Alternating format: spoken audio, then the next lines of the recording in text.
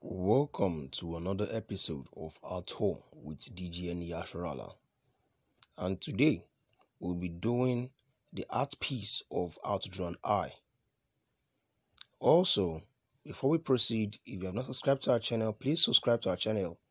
Use the bell button by the side. Click on all so you can get all the notification as we drop new videos like you know that we always start every artwork with shapes. You can see the shape of the circles which is actually going to form the pupil of the eye. Proceeding giving details with my Nataraj pencil. Still working on the detailing you can see how we're moving from stage to stage. Now i'm using my Staedtler i'm back with my pencil trying to make use rulers to make that mark which is going to be the um the guidelines on how we give our shades.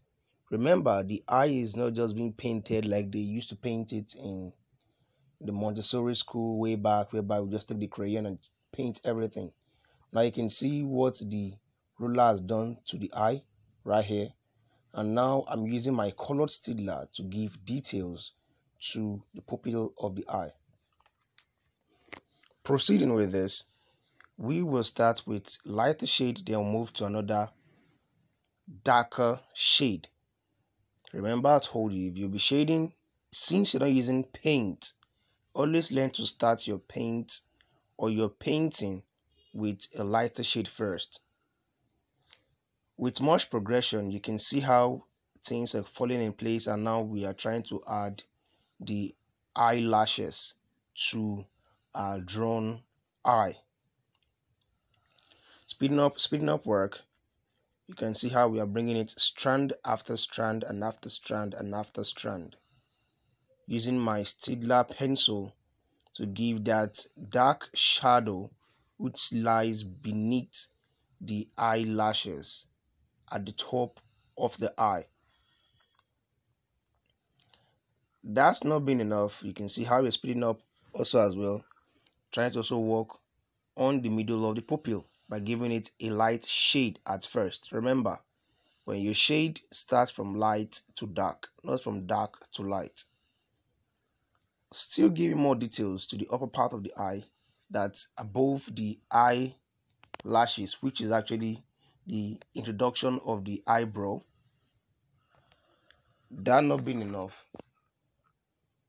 we're still trying to give more details to it. Like remember, we are actually and practically trying to make how to draw realistic eye, not just the way we draw it in Montessori school way back. Now we are back to the eye. You can see how we are bringing out those eye veins for those of us that know about the eyes because like we all know no eye actually is as white as snow.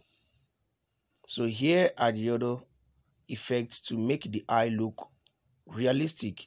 And now we're done signing up the artwork you can see. And here is the final art piece. Remember for this art piece we used the um the ground the Nataraj graphite pencil. We used the Staedtler pencil we use the color Staedtler for our detailing as well.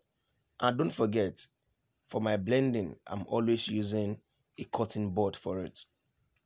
If you have not subscribed to our channel yet, please don't forget to click the subscribe button. Also, click on the bell button by the side, choosing all so you can get other notification as more art piece have been done. Also, comment on the comment section what you would like us to draw on the next episode.